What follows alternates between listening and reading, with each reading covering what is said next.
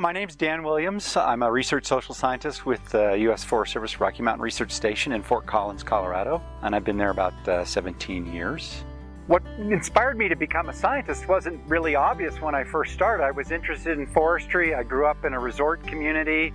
I enjoyed the outdoors, and so I decided to study forestry. And uh, over time, studying that, I became more and more interested in the human environment interaction or the people or the community side of forestry and how those two things interact. And so one thing led to another and it kind of became a research career. I think because I spent a lot of time in the outdoors and, you know, again, kind of as an interesting way to approach forestry, it was, hey, I can actually study the things that I enjoy doing.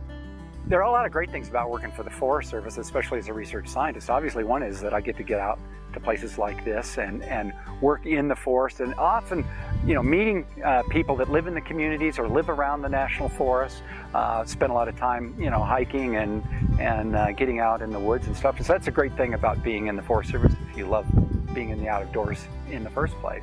But I also think that as a scientist, it, there's a lot of room for creativity, a lot of room to explore new ideas and things like that. And it's always fun. It's always engaging. You get to kind of do what you want to do, you know? There's nothing wrong with that.